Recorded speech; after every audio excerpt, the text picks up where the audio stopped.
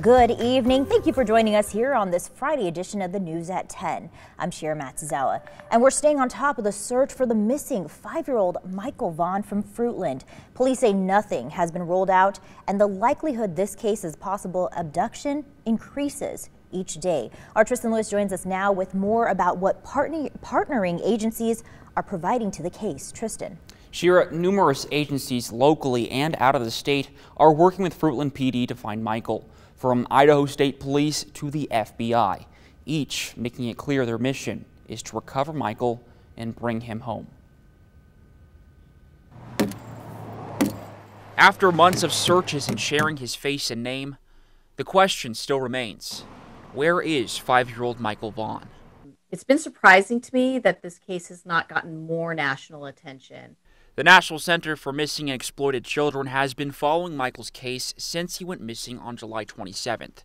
In 2020, the Center for Missing and Exploited Children was able to resolve more than 27,000 missing children cases. More than 1,100 of those were abductions. And due to the fact that we've conducted multiple searches using every tool available to us with no success, it increases the possibility that Michael was abducted.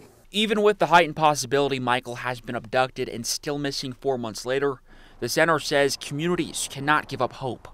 We always want to remind people that it is important to stay vigilant in these types of cases because more time goes on, you know, the less and less attention a case like this gets. A big part of what the center does is make sure missing children's stories are not forgotten. They go on national media programs, share images and details on social media, and more to reach new people. Because at this point, police, that's what they're relying on is help from the public. They believe law enforcement in the case are doing a good job of encouraging people to reach out and send information if they've seen or heard anything in regard to Michael. But they don't believe that's enough. I would like to see this case get more national attention because if this child was indeed abducted, who knows where this child is now? The child may be nowhere near Fruitland. It's important to make sure that everybody's looking for Mike, no matter where they live.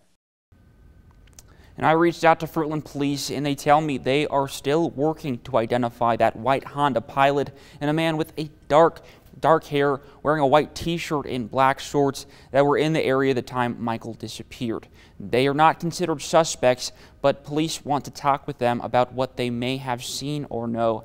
And Shira, this again continues to be an ongoing investigation by Fruitland Police. I know the community isn't giving up hope, so thank you for keeping us updated.